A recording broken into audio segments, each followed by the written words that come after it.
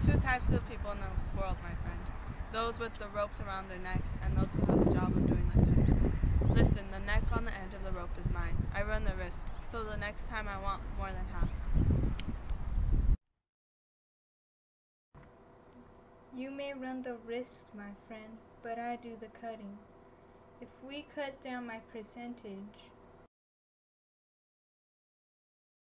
it's liable to interfere with my aim.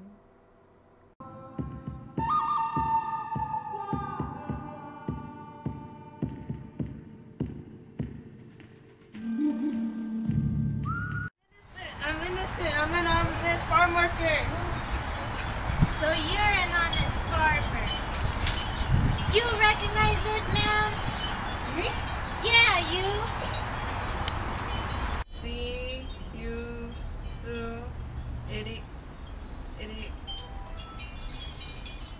Idiot. It's for you.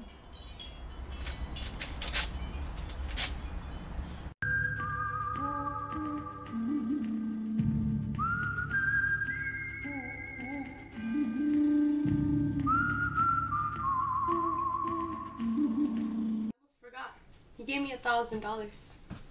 I think his idea was that I kill you.